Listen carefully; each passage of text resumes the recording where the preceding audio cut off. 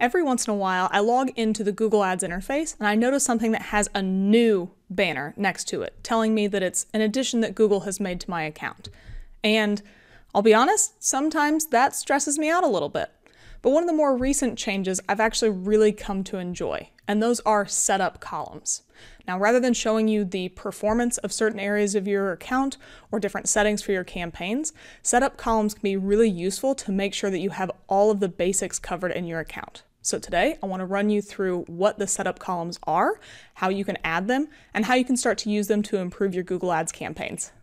We're in one of our active client accounts because for us to show you how these setup columns work, we need to actually have something active. The Paid Media Pros placeholder account won't do for today. But if you're curious, that's why there's going to be a lot of different things blurred out in this video. We apologize for that, but you'll still be able to get the gist of how these setup columns work. So with that, let's jump right in. All of the setup columns are in the column editor. So I'm going to come over here and click columns and click modify. Now here you can see off to the right, we already have all of our regular performance columns. And for right now, I'm just gonna clear those out, except for one, so that we can have a better view of the setup columns here in a second. I left cost in place because I wanna make sure that we're looking at campaigns with high volume for the sake of this video. As you've probably been able to tell, there is a whole section of columns that are dedicated to setup, and this is where that little new placard that I was talking about popped up and caught my attention. So let's see what's available at the campaign level. When I click to open it up, you can see that there are 10 columns available in this section. Now, rather than go through each of them right in this moment, what I'm actually gonna do is create a full view of just these setup columns so we can review them with some actual stats in place. So let me get those set up in order the way that I want them. Now you can see I have all the setup columns set up over here on the right, and I've got them in a specific order. We'll talk through that in a little bit. But the first suggestion I have for you is actually to save this column set. You'll remember when I clicked into the column editor, it first had a dropdown that showed me a handful of preset lists of columns that I'd created. In my opinion, this setup column section is super helpful and I don't want to always have to manually set it up. So to save a column set, I'm going to come down here and click Save Your Column Set, and I'm going to give it the name of Setup Columns. And now I'll just click Save and Apply.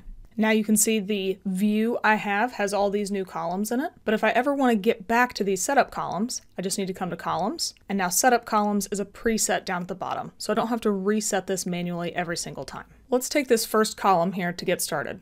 Number of eligible ad groups. Now Google's definition of this is these ad groups are ready to run. So there's a handful of different things that you need to think about here. Not only does this mean that you have the ad groups built, it means that you have them in enabled status, which means that if you have an ad group that is paused, it will not be counted here. Additionally, if for whatever reason your ads can't run because either the ads are disapproved, your keywords are disapproved, you don't have any keywords in an active ad group, all of those mean that that ad group is not eligible to show in this column. So let's take a quick example. The first campaign here is a brand campaign. Three ad groups sounds right. But the remaining campaigns on the screen are all non brand campaigns. And I know they have a good number of ad groups. 15, 16 sound right, 46 is fine. But this 3 is a bit of a red flag. it also tells me in the status column that things are eligible and they're limited. They're limited by search volume, and there's a number of other things going on here. One way these columns are super helpful is you'll notice that the text is blue. So if I want to investigate why I only have three active ad groups, all I have to do is click on the number three, and it takes me to the campaign and the eligible ad groups. You'll see that the filters are already set up so that we're only seeing the enabled ad groups that are eligible. So again, like I said, depending on how you have your campaign set up, they're only going to count a certain number. So if I remove the eligible filter, you'll see there are a number of ad groups that are not eligible because all of the ads are disapproved. So this would be a good signal for me to go in, fix my ads, get things back up and running. Pretty easy process. The next set of columns I like to look at together because they're all about the number of eligible ads and any of your ad ratings or disapprovals. So the first one is going to be the number of eligible ads. And this just means that they have been reviewed and approved to run by Google. They comply with all the policies and they'll be shown to all of your audiences. The next is going to be the number of eligible responsive search ads. Again, these just mean that they are eligible, so they could count in that previous column, but also they're not expanded text ads. They are only responsive search ads in this section. These two columns together already are a really easy way for me to try and make sure that we have responsive search ads rolled out and to also ensure that we have enough ad variants running in each of the different campaigns. It's not a perfect science, but it does help you audit your account and make sure you have things set up relatively well. So again, this first campaign is brand. It's been running for quite a while, and although we only have three active ad groups, we have 12 eligible ads total, but only two of them are responsive search ads. That tells me that at minimum, we have at least one ad group that doesn't have a responsive search ad in it. So if I see that, that's something that I want to go fix. It also tells me that there are a number of ads in that campaign that are expanded text ads and that we're relying on an old ad format that we may need to go back and audit to make sure that messaging is in line, to make sure they're performing better than the responsive search ads to keep them active. It's just a really good gut check to see what's active where. Now this next non-brand campaign is set up pretty much exactly how I would want it to be. We have 15 ad groups active, we have 45 total eligible ads, and all 45 of them are responsive search ads. I mostly just use these columns as a gut check to make sure that things are set up at least in line with what I want. Take this last campaign down here for example. We have 46 eligible ad groups and 138 eligible responsive search ads. That's three responsive search ads per ad group. That's where I want it to be. But you'll notice there are 368 eligible ads. If you do the math on that, you'll realize that that's eight eligible ads per ad group. So on average, there's five eligible expanded text ads per ad group. For me, eight eligible ads in an ad group is too much.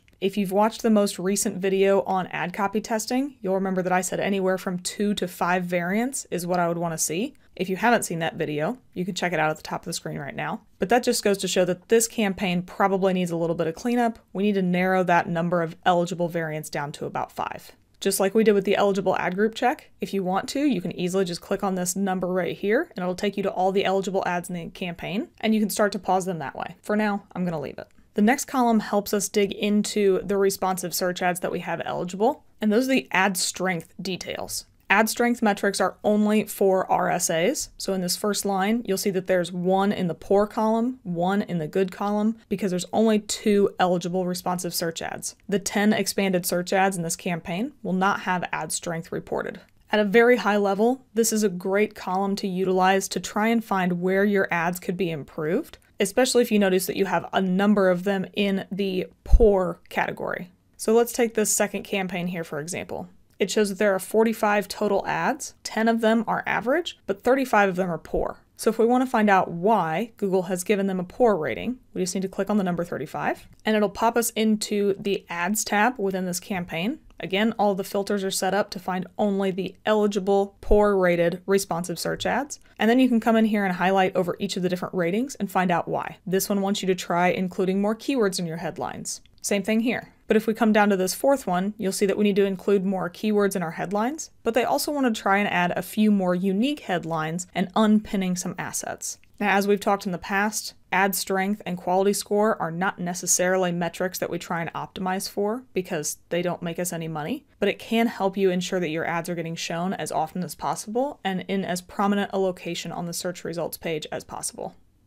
Back on the campaigns tab, the last one that I want to look at for ads is just the number of disapproved ads. This is pretty straightforward. If your ads are disapproved for any reason, they'll show up here. If the number in this column is not zero, it seems like we have a problem. So, so far, four out of five look good, but this last one, not so much. So I can easily just click on the seven and it filters for all the disapproved ads in this group and you can see what the reason is and work on fixing it. So again, this is a really easy way to find what problems are going on in your account and get them remedied quickly.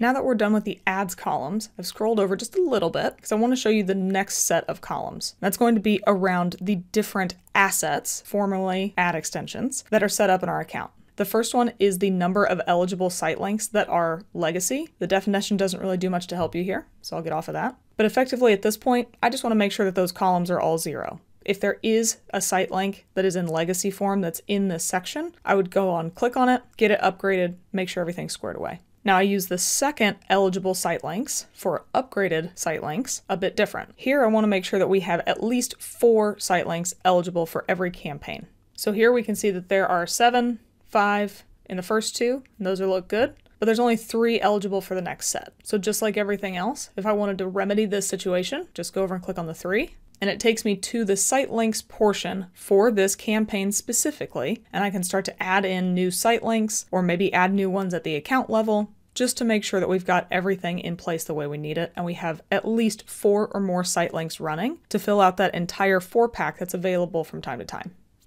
The next column is very similar, but that's just for eligible images. Unlike site links, image extensions, or image assets, need to be applied at the campaign level. So if you notice here, we only have two in the brand campaign, but there aren't any in the next three. That tells me I've got some work to do. I need to go grab some images and apply them to each of the campaigns to make sure that we have those image assets in place. The last two columns are just based on the number of keywords you have active in any given campaign. So the first is going to be eligible keywords.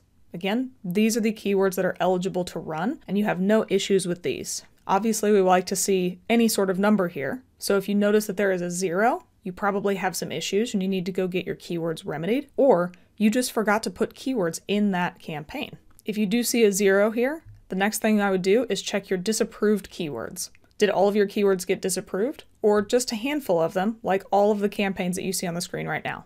Just like everything else, if you do see that there are some disapproved keywords, all you have to do is click on the number and it'll take you to your keyword list and tell you why things are disapproved. Now, one nuance here is that I think Google actually has this named poorly. Not all of these keywords are actually disapproved. First thing to notice is that the filter actually just says that the status is not eligible. It doesn't say disapproved or anything like that. And in the status column, the two keywords that showed up are only low search volume. They're just not eligible because there's no traffic. So if you don't have any active keywords or you notice a high number of keywords in that disapproved column, I suggest that you check it out before you assume that the keywords are actually disapproved because they could just have low search volume.